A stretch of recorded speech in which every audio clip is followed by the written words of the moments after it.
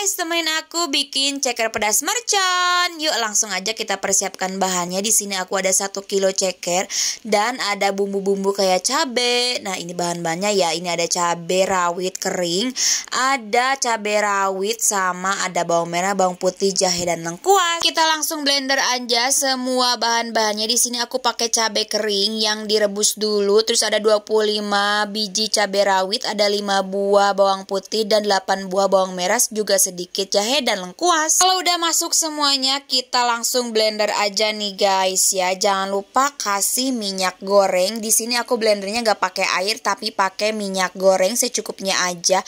Lalu kita blender aja. Blendernya jangan terlalu halus banget, sedang-sedang aja ya. Nah, seperti ini penampakan bumbunya. Ini aku lagi siapin si pancinya dulu ya. Kita masukkan aja bumbunya gak usah kasih minyak lagi karena tadi kita udah ble udah blendernya pakai minyak ya. Sebenarnya harusnya pakai daun jeruk tapi berhubung daun jeruknya gak ada, jadi aku pakai serai aja ya guys. Ini minyaknya keluar dengan sendirinya ya. Terus masukin aja si cekernya semuanya masukin. Kalau udah masuk semuanya jangan lupa diaduk-aduk ya guys sampai semuanya rata sampai si cekernya itu terbalut dengan bumbu.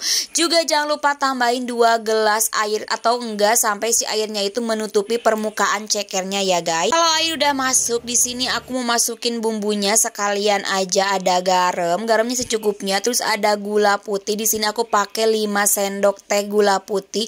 Juga ada royco ayam 1 sendok teh aja. Terus ada micin ya, micin itu gak boleh di skip dan terakhir ada lada ya. Diaduk-aduk aduk lagi ya sampai permukaannya terkena semua. Dan tambahkan juga saus. Ini kalau saus itu optional tapi aku lebih suka ditambahin saus sedikit dan kecap. Oke semua perbumbuan udah masuk aduk-aduk dulu lalu ditutup ya. Tunggu aja sampai mateng tapi setiap 5 menit sekali kalian aduk-aduk ya biar si bumbunya itu rata. Seperti ini ya. Oke kita percepat aja. Akhirnya si cekernya itu udah mateng. Penampakannya seperti ini bener-bener bikin ngiler banget. Bumbunya itu bener-bener lek kok dan warnanya merah ya. Uh, ini tuh rasanya gurih, nyoy-nyoy. Oke, ini udah beres ya. Langsung aja kita tuangkan ke piring.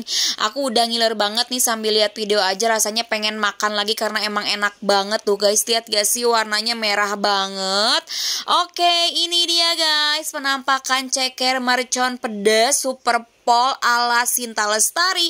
Yang mau recook kalian boleh recook aja dan share video ini. Thank you for watching dan bye-bye.